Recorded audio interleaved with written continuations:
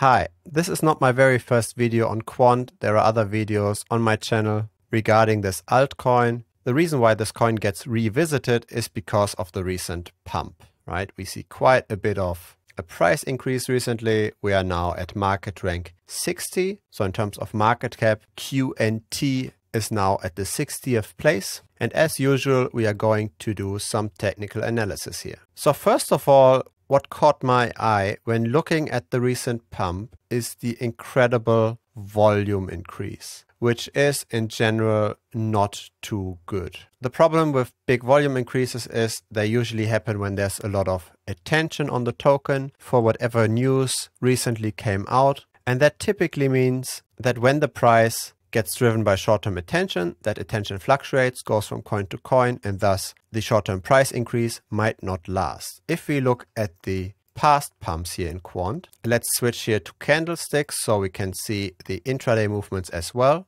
During a past pump, we had a temporary down movement of up to 64%, something like that. This was in the first pump. Then for the second pump, which happened here on the 6th of June 21, we see a potential drop of 51%. Then here on the 25th of June, we also went down by 35%. And now recently we've got another pump. And so far we quote unquote only dropped 16% from top to the lowest price after that pump. So that tells me there is probably some way to fall further. I'm not saying that you shouldn't buy quant at all, obviously, because in the end, the price is going up, right? But you have to time it right. And buying it just after a pump, directly after a pump, is potentially pretty dangerous. Now, one way to time these things is with the RSI. I like to use the RSI quite a bit. Now, when you use the RSI, you also need to preferably use the one hour chart because that's normally the kind of time frames where prices tend to revert. So the way I see price movements in general in crypto is that the longer the time frame we look at, the more prices tend to move in trends. Right? So there's like this momentum effect. We had some positive days in the past, so we are more likely to also have positive days in the future. There is momentum building up. But when you look at very short time periods, there's more a kind of mean reversion effect. So we are quickly crashing and suddenly the reference price of a lot of people in the market is higher than that crash. And so it looks like a discount, relatively speaking. So there's some kind of reversion happening. People pick up the cheap coins and tend to push up the price back up to a certain level. So when you look at something like the RSI, which indicates when the asset might be oversold or overbought, then you should look at shorter time periods. And so that's why I select here the one hour chart. And if we look at the historical price pattern here of quant, what we can see is that sometimes we fell below 30. We even see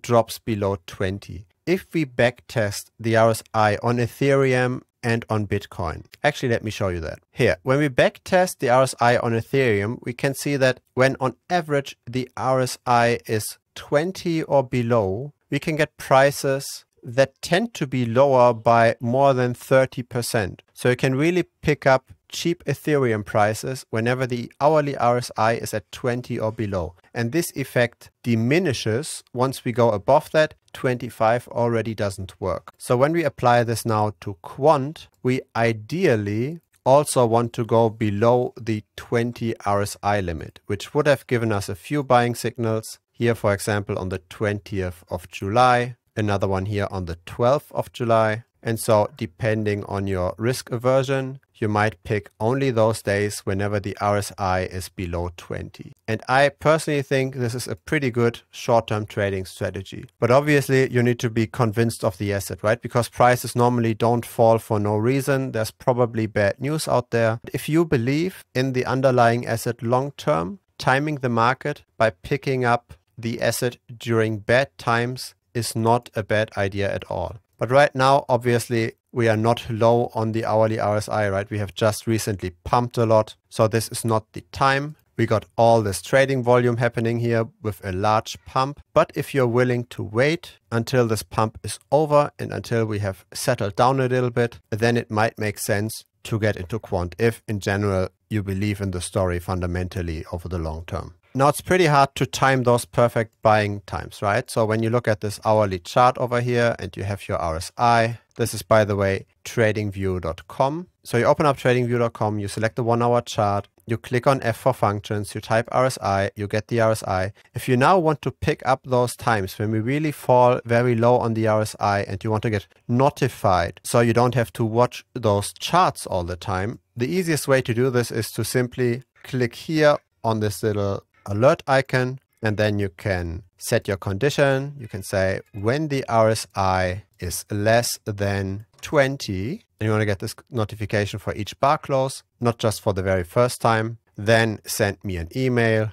and notify me about buying quant. That's how I do it in practice, right? You could obviously also automate this with trading bots and stuff, but if you're not doing this as a job, if you just do this for pleasure, that's the most straightforward way to set this up. So yeah, there you have it. I think quant might be interesting long term. It's going up. It's also going up versus Ethereum. So that's always a good thing, right? You want to have your altcoin to outperform Ethereum because alts are smaller in market cap. They are inherently more risky. And so this additional risk should be compensated by more performance. We do see this recently in quant, so that's good. But still, currently is a heated time. I would hold off for now and watch this hourly chart, wait for the RSI to fall below 20 and then get your entry point if you like quant fundamentally. If you enjoyed this video, please give this a like. YouTube will then rank the video higher in the algorithm and the channel can grow. And speaking of growth, if you haven't yet subscribed, feel free to subscribe as well. I publish videos every other day. And last but not least, if you're looking for a small community to discuss crypto, to discuss altcoins, trading approaches, feel free to join the Bitcoin Strategy channel on Telegram. We are around 100 people. It's completely spam free. Looking forward to see you as part of our community. See you next time. Bye bye.